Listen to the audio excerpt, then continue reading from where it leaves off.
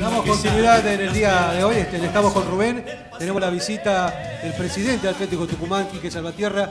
Quique, ¿cómo te va? Buen día, ¿cómo estás? Muy bien, Pepe, ¿cómo te va vos? Gracias por la invitación, ¿eh? Muy lindo el lugar, eh, el olor a comida, está, rico, la bebida, me parece que no me voy más de acá, ¿eh? No te vas a ir porque yo voy a pedir que después me acerquen un trago porque, bueno, Quique, ¿qué es lo, que tenemos preparado para hoy? Así que te vamos a acercar para que puedas probar también. Listo. Así vamos distendiendo la nota también en el día de hoy.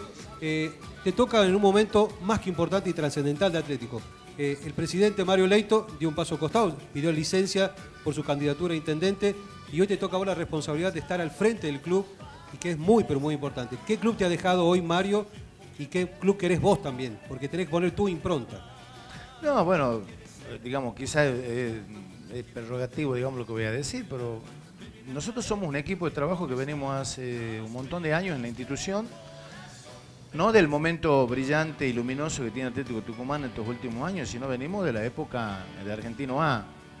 Eh, y creo que en esto hemos sabido y fundamentalmente Mario supo constituir equipos de trabajo donde nosotros somos en definitiva eso, ¿no? Un equipo que por ahí cambian jugadores, pero el estilo de juego es el mismo. Se sigue manteniendo, se sigue manteniendo. Entonces la verdad que la responsabilidad, por un lado, este, más que preocuparme, me ocupa, porque uno viene trabajando muchísimo en la institución con un grupo de gente que no es solamente lo que por ahí nos toca desempeñar algún cargo y que tenemos la posibilidad de ser más visibles, sino que hay todo un grupo de gente, el backstage, digamos, del Atlético de Tucumán, que es bastante gente que trabaja por la institución. Ese equipo continúa. Hoy Mario nos pidió esta posibilidad de poder desarrollar otra de sus pasiones, como es la política. Y nosotros, la institución, la intentamos mantener de la misma forma como vinimos. Y así queremos terminar este, en los próximos dos o tres meses que ya termine el campeonato. Así que bueno, con mucho trabajo, con mucho sacrificio, pero feliz porque en definitiva es una etapa nueva fundamentalmente en mi vida, ocupando un lugar que sé que no es mío, que es el del presidente, pero bueno, institucionalmente yo soy el vicepresidente primero y me toca ocupar el lugar hoy de la presidencia del club. Eh, hay obras que se están llevando a cabo en el club, eh, la tribuna que se viene, las obras que se están haciendo también dentro del, predio que han comprado eh, y que es muy lindo, que va a ser un complejo de, alto, de alto nivel. ¿Cómo van esas obras? ¿Cómo están marchando?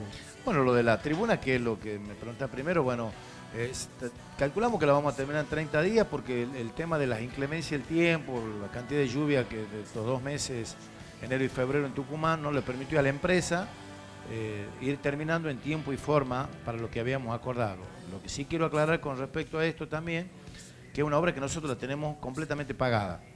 ¿Eh? La obra está pagada totalmente. Y eso tiene que terminar en, un periodo. La tiene que terminar la empresa. También reconocemos que no es, culpa de la empresa, sino fundamentalmente de este fenómeno del clima.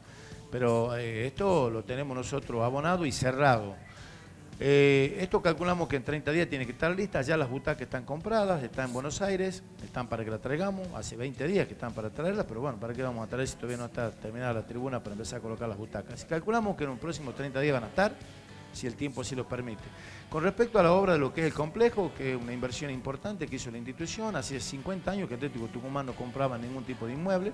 Lo último que había comprado es el José Salmoriagui, justamente el complejo que en este momento está divino, está hermoso. Aquel que conozca Atlético, conozca el complejo, puede ir La verdad que está muy lindo. La, cancha de césped sintético, eh, no solamente de fútbol, sino de hockey, los nuevos vestuarios, eh, la nueva cantina, la verdad que está muy bonito. Y algunas cosas que le estamos terminando de hacer, como todo el frente y el perímetro lateral, que da sobre, la, sobre el canal ese desagüe que hay ahí, también va a ser todo nuevo. Así que bueno, y nos faltaría mm, hacer el quincho nuevo, la caminería y con eso terminamos este, el complejo. Y en el nuevo complejo que es en San Andrés, 20 hectáreas, a un valor de un millón de dólares, eh, arrancamos desmontando 5 hectáreas la intención es poder terminar una primera etapa. Es una obra monstruosa, es una obra que hoy por hoy si la tiene que hacer necesita 150, 200 millones de pesos. Pero en esta primera etapa calculo que podemos llegar a invertir 30 millones de pesos. La intención es ver este, si podemos tener terminado algo durante el año o la mitad del que viene, porque la intención es que arranquemos con cuatro canchas, con los subvestuarios respectivos, para poder trasladar toda, todo el fútbol de amateur ahí a la zona de San Andrés. Así que bueno, eh, mucha plata y hay que ir guardándola y cuidándola y juntándola de a poco, ¿no? Exactamente. Te hago la última. Eh, primero, renovación del contrato del ruso Zielinski y el primer objetivo ya se cumplió, que era quedarse en primera. ¿Y cuál es el segundo objetivo? Clasificar alguna copa. La verdad que el primer objetivo siempre fue, el año pasado, cuando nosotros conformamos el equipo a mitad de año, era, estábamos a dos, tres puntos de la zona de descenso. Hoy estamos peleando el cuarto, quinto lugar y un lugar en la Copa Libertadores, así que yo calculo que el objetivo está más que satisfecho y más que cumplido. Vamos buscando el punto que necesitamos para clasificar para la Copa Sudamericana, que calculo que ese será a corto plazo, fundamentalmente es el segundo objetivo. Y lo de Zielinski, bueno, a ver, Russo es una persona que nosotros la conocemos mucho, que nos ha dado muchísimo a la institución, que nos encantaría que se quede y apostamos a que se quede. Si vamos a firmar, lo firmamos ya. Yo lo firmo ya, si quiere Russo. Pero la pelota está en la cancha de él. Eh, Ricardo es una persona eh, que se toma sus tiempos, no solamente con nosotros, es su forma de vivir, así fue siempre. Y el año pasado nos dijo lo mismo que nos está diciendo hoy, muchachos, cuando termine el campeonato vamos a hablar. Nos encantaría que se quede, pero también vamos a respetar cuál sea su decisión. Eh, la decisión de la comisión directiva es que se se quede. Vamos a ver si cuando termine el campeonato empezamos a hablar del tema y acepta este convite, ¿no? Bueno, Quique, te agradezco mucho esta visita acá al programa y no va a ser la primera, sino va a haber varias más para, poder conversar de Atlético Tucumán. Y hay un compromiso por parte del presidente de Atlético Tucumán, lo quiero decir antes de ir con Rubén. Eh, vamos a tener la semana que viene, Rubén, te cuento, la camiseta de Atlético Tucumán. Le vamos a estar regalando a la gente, así que gracias, Quique. Se ha comprometido Quique Salvatierra, el presidente, que vamos a tener la camiseta del DECA.